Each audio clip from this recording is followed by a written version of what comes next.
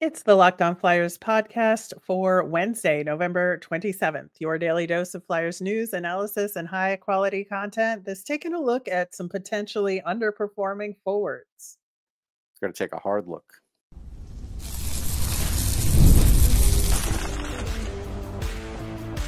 Your Locked On Flyers, your daily podcast on the Philadelphia Flyers, part of the Locked On Podcast Network. Your team every day.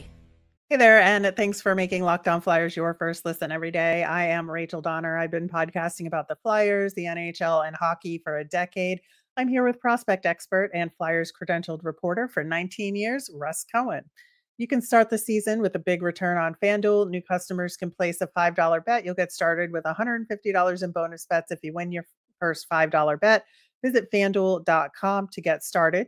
And to keep up with our latest episodes and Flyers news, you can find us at Locked On Flyers on all your favorite socials, including Blue Sky, and of course, here on the Locked On Podcast Network, your team every day. Uh, we are going to get to previewing tonight's matchup against the Nashville Predators, who are their own puzzle oh, outside yeah. of the Flyers. Plus, we have your mailbag questions coming up. So, lots of good stuff today. But as far as the Flyers underperforming forwards. Right now, I think we're kind of looking at Tyson Foerster, Joel Farabee, and Owen Tippett, right? Oh, yeah. Yeah. These are the three big underperforming guys that really made a difference last year. And at this point of the season, have not brought it at all.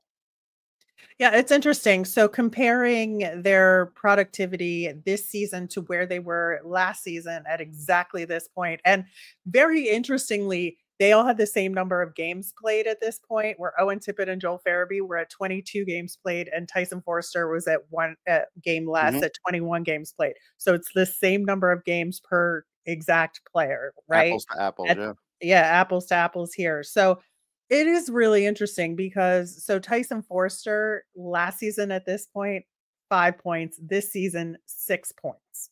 Right. So not a huge jump forward, except for the fact that this year more of the points are goals. So he, he right. has four goals where he only had one goal at this point last season. Joel Farabee last year at this point was at 15 points. This year, eight. Uh, he had eight goals last year at this point, three this year so far. And the guy with the closest point, uh, I think, you know, when you're looking at the grand scheme of things, uh, Owen Tippett had 11, um, excuse me, had 14 points last season at this point, seven goals, seven assists. This year, 11 points, so three fewer points. And you just subtract them from goals, right? Same number yeah. of assists. And he's getting so, more than two minutes a game, Tippett, more than last year on average. Yes. Right. And, you know, interestingly, of these three this year, Joel Farabee is getting the least amount of ice time at just yeah. under 15 minutes. Tyson Foerster is just over 15 minutes. Yeah. So, like somebody might say, hey, don't don't be so bad about Foerster. He's got more goals. Okay, but like based on what he did last year, he shouldn't be even close to the number he total number. It doesn't have to always be goals, point number of last year because he should have taken a step forward and he hasn't. That's the problem with Tyson Foerster. I still think it, it, it, it affects his footwork. And I also think uh, something you have put here that uh, for the number of unblocked shots that missed the net, 37%. Mm-hmm. percent That is a high number. And He's the, the only, worst forward on the team in that yeah. stat. And I um I'll let you guess who's second worst, but we'll continue. No, but the thing is, you can let the viewers guess. I peaked already. Um, but the thing is, with with Forrest, Foerster, so I get that he's younger. Like that's fine. But I think the problem is sometimes he's rushing his shots, and sometimes he is just not doing anything else but what he normally does. And if it hits, it hits, and if it misses, it misses. I still think he and Tippett, especially, should employ more shot deception. Like I said, I brought up Michkov, I brought up Auston Matthews, guys like that who really know how to use the shot deception. And then that's how you create extra space instead of rushing a shot or just shooting it to shoot it or, you know, missing it off the rush. Right. And Foerster's missed think... him off the rush like he, we've seen him down low. Just right. Right. I think that's what's key with Foerster. I think is exactly spot on is that we saw him score a lot on the rush or create plays on the rush, even if it wasn't him that eventually got the goal. And uh, he's just not as good in a set offense, right? right? Because he can't find that open space. He's not as creative right. as some of the other guys on the team. And so he really has to capitalize on those rush opportunities. And he hasn't. And I think that you know, while his shooting percentage is, I think, artificially high because he's not taking a lot of quality shots. Right. Overall, um, I do think that they have to figure out a combination that works for him that he's going to have some success on the rush. And, you know, he's been on a line with Matvei Michkov a, a little bit. Michkov's the playmaker there. So Tyson Foerster's not going to be able to rush down the ice with the puck right on a line with Michkov, right? No, that's true. And look, this shooting percentage may be artificially high, but even at this percentage, what's he going to get? 16 goals at this pace? Like that's right. not good enough. Right. Now, uh, going back to that percentage of unblocked shots that miss the net stat, Owen Tippett is your second worst forward on the team at 36. But he's not worst, Rachel. He's not. But we we know based on the eye test alone oh, yeah. that he's just missing the net, right? Right. You know, I think the worst thing for Owen Tippett was the fact that he got clocked at 20 something miles an hour last year in a game because it always seems to come up in broadcasts and when people talk about it, but it's not doing him any good. It doesn't matter because all of a sudden, one on one, he can't beat anybody. And and so that's where I think shot deception is a big thing. Yes, he can get the puck, he can get it on the rush, but a lot of times he's not making the goalies move enough. Like I see he's coming down the end and he kind of just either goes short side or he's trying to put it five hole. And it's like a goalie, yes, sometimes you could get him five hole, right? I've had pro players tell me like when I was goofing around playing even in a in a charity game because I stink, hey, go five hole because you never know, right? And and players right. like real players shoot for that too. Like that's something that's a strategy. If you have to choose between getting a goalie to move or go five hole, you always want him to move. Right. And I, I think that's part of the problem because he only has like two moves and eh, teams have that figured out at they this do. point and they know what he's going to do. And I'll and give you I've... a guy, I'll give you a guy from the past who, when I first started covering him, because he came up after the lockout, Jeff Carter, his first year, year and a half, he only had like two moves. Right. But then he figured it out. And then all of a sudden he started scoring a lot. Tippett's well into this now, and he still hasn't figured it out. Yeah, and the interesting thing I think is that he has turned to becoming more physical than yeah. he was last year. I think as an antidote to some of this and some frustration. Or just to get ice time. Yeah. Right. And it's not that he's bad at being physical. He's actually been pretty solid. Like he can yeah. throw a hit pretty sure. well.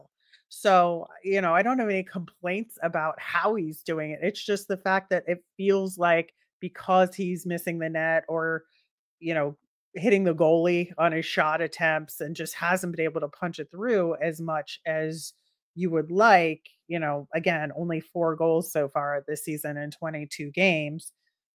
I think that maybe he's like focusing in the wrong area to some degree. Yeah, that's why I think a day off is good for him. I do think he needs to refocus. I think there is something to that. And and I think that might be good for him because he's just carrying too much. Yeah. So Joel Farabee is the other elephant in the room here, yeah. right? And that's why there's been some trade rumors around him so far this season. Again, you know, much lower time on ice this season than he had last season. Only three goals so far, a very similar low shooting percentage like Owen Tippett has. Um, only averaging two shots on goal per game, three shot attempts per game. So, you know, I, I mean, there is some positive there in the sense that if you look at that percentage of unblocked shots that miss the net, he's actually the second best on the team. So when he's actually shooting, he's getting some quality shots, but he's just not getting enough opportunities to take those shots. No, um, yeah, the the shots on goal is really low. Uh, yep. That is definitely hurting them. The giveaways are worse than yep. last year already, almost. Yep. And He's at a negative 13 in terms of giveaways versus takeaways. And and that's pretty early in the season to be at a negative 13. it's really early in the season. And then, you know, is he even getting any power play time? Like, you know, he has what two power play assists and no power play goals. You know, my guess is it's not much time because he's only getting 1458 a game anyhow.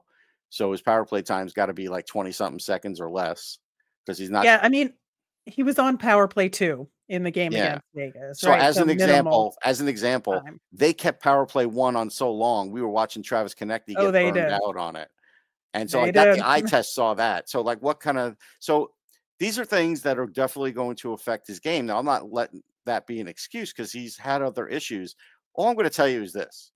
They need to figure it out with Joel Farabee because I think if you remember um, when Claude Giroux left, they were asking him, who do you think is going to be really good? And he said Farabee. If you traded Farabee to Ottawa and he played on the same power play as Joel Farabee, like as Claude Giroux rather, you would see a big uptick in his points. Like Yep. you just would. I think so. And so there is to me, there's something to that. And that's what you have to try and get back, even if he's on power play too. But again, he is just so out of sync right now. And I do Yeah. think the Torts system has kind of brought him out of sync because I think he's tried to please the coach and it's Well, not because- really his game. Right. I mean, understandably, because he's been sat and Right. he's been admonished. So why wouldn't he do that? Right. But It's how you divide up. Like I just look at it like this. Obviously, the Flyers could score more goals, right? But then they would give up more goals, and the coach doesn't want to give up more goals. So he wants to score more goals without giving up as many. And not everybody you have on the team is good at that, and not everybody is going to learn that. And I do think that's a problem with the Flyers this year. I think it's a big problem because again, it's definitely affecting some guys' offense. I'm not going to say it's affecting all three of these guys, but listen, Tyson Foerster is playing a really good two way game. Is that unplugging probably some of his offense? Yeah, I think it probably is. Tippett, I think it's just the same Tippett. He's going to miss. He's going to miss until he figures it out. But Farabee, I do think having to put mo- so much emphasis that it's fouled up his game completely. He's not better defensively. He's not better offensively. I don't know what he is right now. Well, we'll see if any of them uh, score some goals against They will because we're talking about them. Like that's how hockey I hope so. Honestly, I hope it works. I'm like knocking on wood right here. Right. All right. Uh, we will get to that preview of the game against Nashville coming up next. Here's the thing we earn points on groceries, travel, and practically everything else we buy. But we should also be earning points on rent, one of our biggest monthly expenses. Bilt changed the game by letting renters earn high value points on rent and, and around their neighborhood. There's no cost to join Bilt. As a member, you'll earn valuable points on rent and on your everyday spending. Bilt can be transferred to your favorite hotels, airlines, and even the ones you haven't heard of. There are over 500 airlines and 700,000 hotels and properties around the world you can redeem your Bilt points towards. Points can be redeemed, also be redeemed towards a future rent payment and unique experiences that only Bilt members can access. So if you're not earning points on rent, my question is why not? Start earning points by renting right now. And when you go to join bilt.com slash locked on, that's joinbilt.com slash locked on NHL. Make sure to use our URL so they know we sent you. Join bilt.com slash locked on NHL to start earning points with your rent payments today. Some of the best events take place around the holidays, and there are so many of them to choose from. Game Time has a new feature called Game Time Picks that makes getting tickets to your favorite live events even easier. Game Time Picks filters out the fluff to show you only incredible deals on great seats so you don't have to waste time searching through thousands of tickets. My favorite part of the Game Time app is that it's great for getting notified about last minute flash deals and super deals so you know you're getting the best bang for your buck. Best of all, they have all in pricing, so there's no surprise fees at checkout when you activate the feature, and your tickets are sent directly to your phone so you never have to dig through email. Download the Game Time app, create an account, and use the code Locked On NHL for $20 off your first purchase. Terms apply. Again, create an account and redeem with the code Locked On NHL for $20 off. Download Game Time today. What time is it? Game time. On tomorrow's show, we will uh, recap this game we're about to preview against Nashville. Plus, we're going to talk about the Flyers' uh, Black Friday game history because we know we've got one coming up against the Rangers on Friday. So, we're going to preview that matchup as well. And uh, so we are going to have a Thursday show on Thanksgiving while y'all are having a good time with your turkey. And then on Friday, we'll be back again after the Flyers Rangers game. Uh, so I can't go shopping. You're, basically killing my Black Friday shopping. Sure. That, Thank, that's the thanks, plan. Rachel. Appreciate it. No problem. No problem. Love that Flyers Rangers Black Friday match. It's always fun. So the Nashville Predators, uh, I think you know one of the more interesting stories here is the fact that they have been not great so far this season. They're 7 12 and 3 thus far. Uh, and it kind of leads to the question is head coach Andrew Brunette on the hot seat right now? Uh, I don't think so. I think they have an inexperienced GM in Barry Trotz. Yep. He is. He's inexperienced. That's just, that's a fact. And I think last year he kind of played it tough uh, with guys, and that's fine. And then this year he was kind of like, all right, we're going to kind of go all in and just push the Preds, you know, into a high playoff spot. And my feeling was, hey, you might make the playoffs, but I think they were a bubble team. Now, I have always made the assertion that goal scorers go to die there. And now we're looking at Steven mm. Stamkos and he's going to die there. Like he's not scoring oh, like God. he used to. I don't know if it's the hot chicken. I don't know what it is, but something in that area makes guys not score goals or that system or something. And it's really bad. Like it's just they don't score goals. And the other thing that is hurting them, and I forget who pointed it out, but it's been noticeable the last, I'd say, five years. Their first round draft picks are flaming out, and they're yeah. not getting, you know, and they just traded Philip Tomasino. Correct. Yeah, they just traded him to Pittsburgh, right, for a fourth round pick, like I mean, three years down the road, killing the organization. Yeah. So that's another thing. But again, other than Filip Forsberg, and I've been saying this for as long as I've been on the show, very few other guys score goals. Eeli Tolvanen left, he scored goals. While he was there, he didn't score goals. Yeah, it's remarkable how poor their development process has yeah, been. and that's that's a huge thing that they have to get under control. And they've really only been able to get success and high scores via trade. Right. Right. And so that's something that they have to improve. They are one of the teams up for David Jiricek should right. that happen uh, right now, but uh, they've had an interesting recent streak because uh, while the Flyers were playing Vegas, they faced the New Jersey Devils. They lost five to two in that game. Uh, Nico Hischier had his first career hat trick in that game. The Devils, and, like we said, the Devils are one team to watch out for, and they schooled them, man. They did. Uh, Juuse Saros was pulled in that game after the fourth Jersey Devils goal in that one. It was not a good game. And it was especially disappointing for Nashville because they literally had just won against the high flying Winnipeg Jets, uh, and they won four to one in a decisive game. So we have to say maybe that was could Winnipeg. not keep it going. Yeah, I would say that's just Winnipeg due to get a loss just because of the way they were so yep. hot and still really are. Probably law of averages, not because of you know any great play. Totally, because the Preds lost to the Kraken three to nothing. Um, they did win against the Canucks five to three. The Canucks are kind of in a weird They're spot right now. malaise too, yeah. Yeah, so it, it's just been a bizarre season thus far for Nashville, right? Yeah, it's hard, and you know, they're look. I all I have to do is we used to marvel at at their defense, and now I'm looking at you know Luke Schenn in there, Marco Del Gaizo, mm-hmm. who I watched in college, and he's okay. Like he's okay.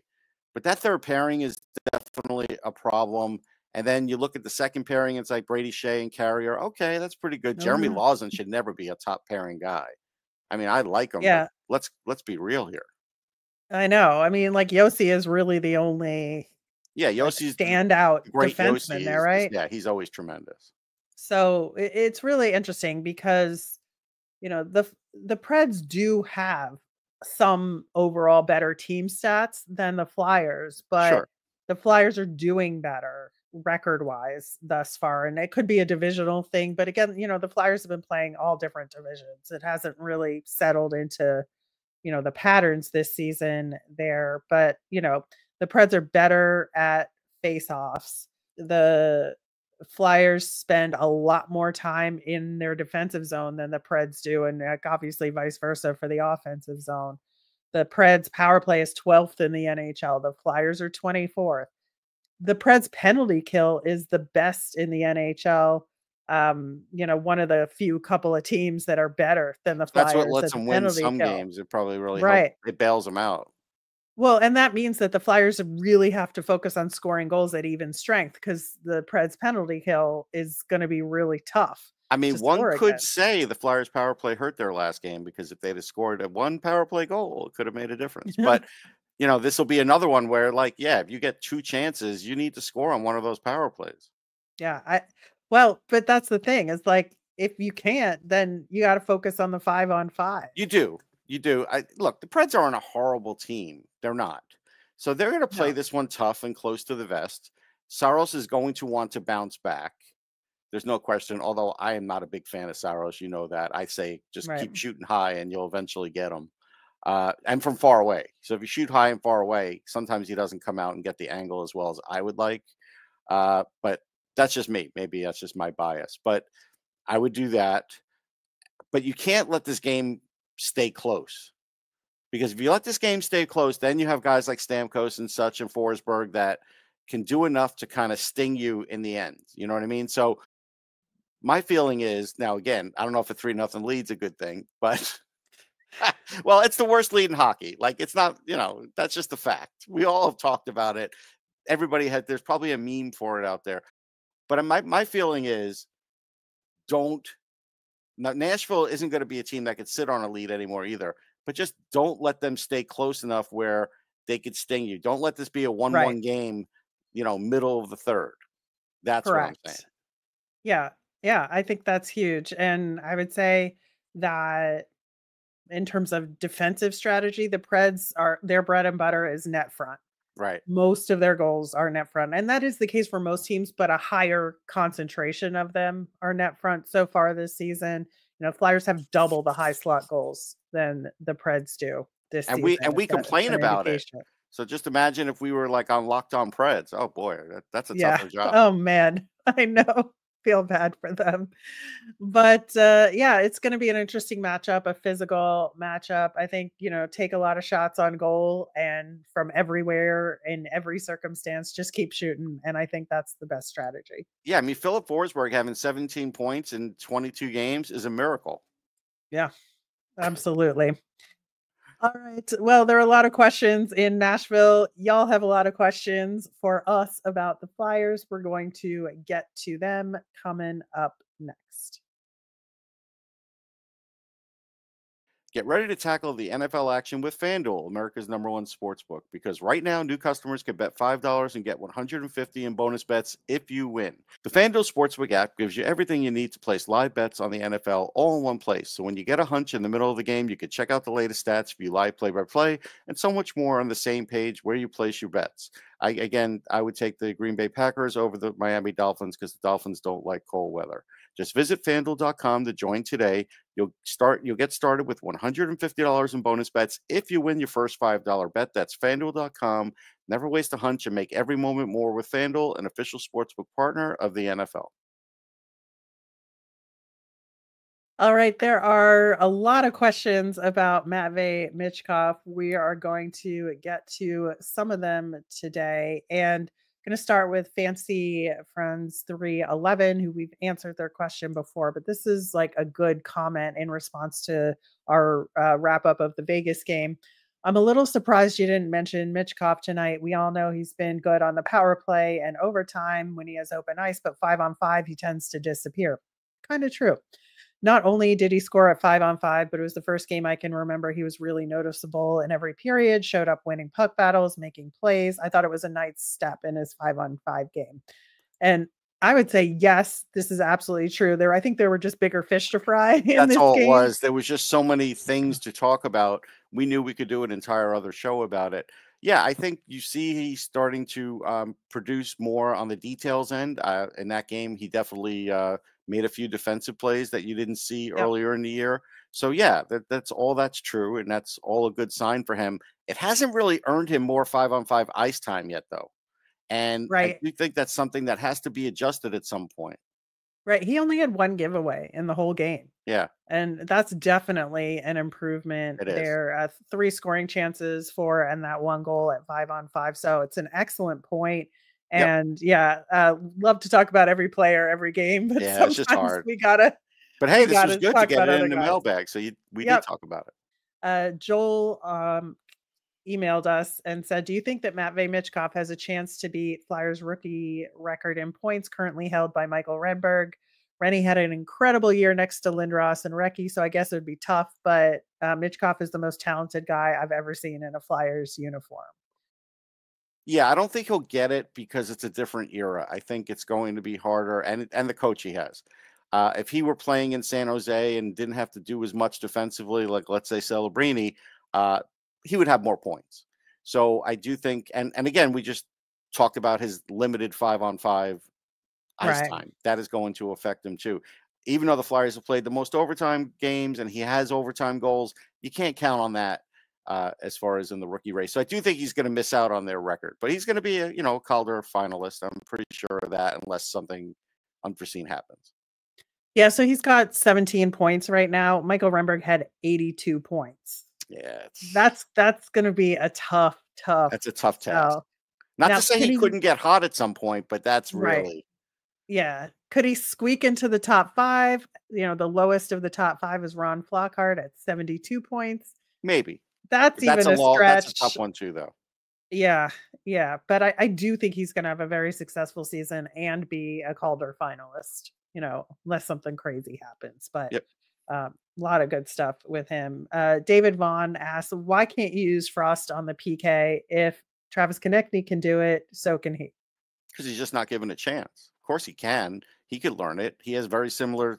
He, in a way, there's a lot that Travis Konecny does that Frost can do, but Frost has never been given that opportunity. Just like Konecny wasn't given that opportunity until Torts was here, right? So it's almost the same story. Yeah, I do think he could do it. And then would he be more of a weapon? Sure, because with what he can do in open ice, uh, if he were able to make a block or so and then get the puck on his stick, he could be real dangerous. But he's not going to get that chance with with this coach. Yeah, it's interesting because Sean Couturier sometimes gets those overtime starts, right? Where he'll Yes. take the face off, win it, dish it to Konecny, and then get off the ice and a different and a winger will come on, right? Yep. And with Frost, you would almost expect him to stay on the ice and not do Of that. course, And I, yeah. and that's like so it's kind of not what the Flyers have been doing. So I I think it's partially situational and partially a trust factor. Yeah, I think that's true. Deacon Frost nine, a little frost in the in the name there. I hope Danny goes after David Jiricek. At this point, there's nothing to lose. Comcast can pay for a nicer place for him in Cherry Hill anyway. That's funny. yeah, I mean he'll he'll sell the place in Columbus. He'll get a place in Mm. Cherry Hill. That's an upgrade, no question about it. Uh, look, look, I think they should definitely do it. We know that they're in on it. There are there's at least four or five other teams from what we hear from Elliotte Friedman and other insiders. So it's just a matter of who in the end gives the best offer or what player intrigues Columbus the most. It's gonna, you know, so yeah, they're in on it. So that's all they can do. They're trying. Yeah, I, I think so. And you know, we'll see. I don't know if there's like a winner here in this sort of sweepstake. It's just a trade, in my opinion. Right. But um, you know, the pens were added to the rumor mill as of a couple days ago as well. So we do have to add this we'll though. see. If Don Waddell can get the same value and trade him out of division, he's going to do that first. So Yeah. that's you know, so that's something where that holds the Flyers and the Penguins back a little bit. Now, if everything's equal, then they have a real shot. Correct. Correct. So just depends on what Danny's willing to offer, I think. Yeah.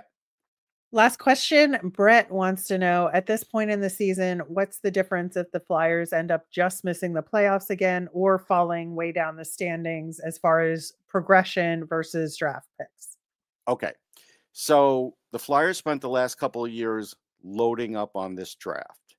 And I have my first list out. It's on NHLDraftBuzz.com. I talked to other draft people, like, you know, and so far this draft is not super impressive.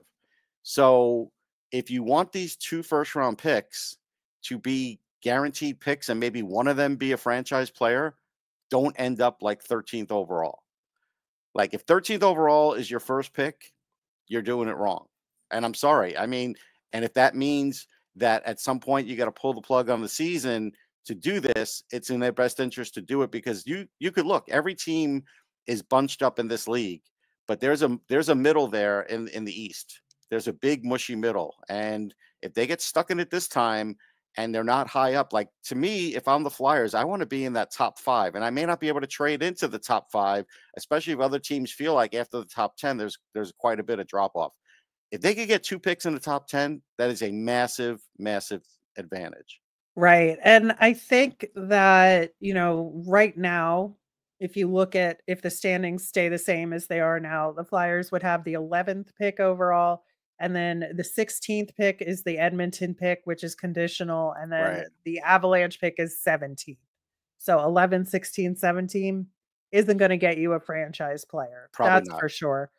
But I I do think that, you know, you still just play it out and you try to win every game you can and see Yeah, where it see, I'm going to differ wash. on that. I think I think if the numbers start getting bad in the next couple weeks, that's when the GM should step in and, and maybe do some things to make sure that they have a better draft position. That still doesn't mean they shouldn't try and win games, but a GM can can definitely affect things.